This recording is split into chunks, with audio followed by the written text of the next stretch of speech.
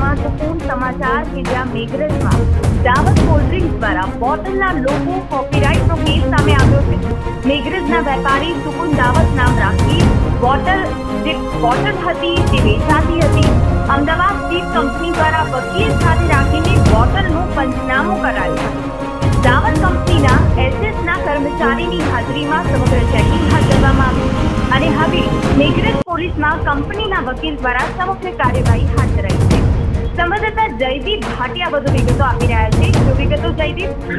શ્રી ચોક્કસ જણાવી દઉં કે જે મેઘરજ ખાતે દાવત કોલ્ડ્રિંક દ્વારા જે બોટલના લોગાની કોપીરાઇટનો કેસ બન્યો હતો, તેને મેઘરજના વેપારી સુકુન દાવતના નામે ચલાવી રહ્યો હતો. ત્યારે અમદાવાદની સ્થિત કંપની દ્વારા વકીલ સાથે રાખીને બોટલનું પંચનામું કરવામાં આવ્યું હતું. ત્યારે સમગ્ર બાબતે દાવત કંપનીએ એસએમના કર્મચારીઓ અને જે વકીલ દ્વારા સર્ચ ચેકિંગ કરવામાં આવ્યું હતું. અને સમગ્ર બાબતે મેઘરજ પોલીસને કંપનીના વકીલ દ્વારા કાર્યવાહી હાથ ધરવામાં આવી હતી. જી.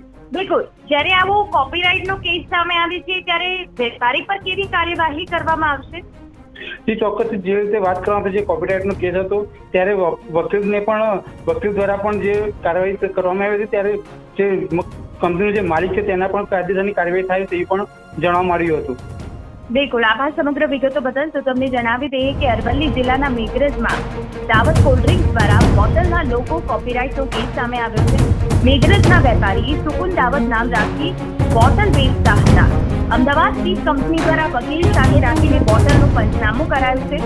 દાવત કંપનીના એસએસના કર્મચારીની હાજરીમાં સમગ્ર ચેકિંગ હાથ ધરવામાં આવ્યું. જ્યારે હવે મેઘરજ પોલીસમાં કંપનીના વકીલ દ્વારા કાર્યવાહી હાથ ધરવામાં આવી છે. તો જે રીતે સમગ્ર કોલ્ડ્રિંક્સમાં બોટલના લોકો કોપીરાઇટનો કેસ સામે આવ્યો છે. હવે જોવાનું એ રહેશે કે મેઘરજ પોલીસમાં કંપનીના વકીલ દ્વારા શું કાર્યવાહી હાથ ધરવામાં આવે?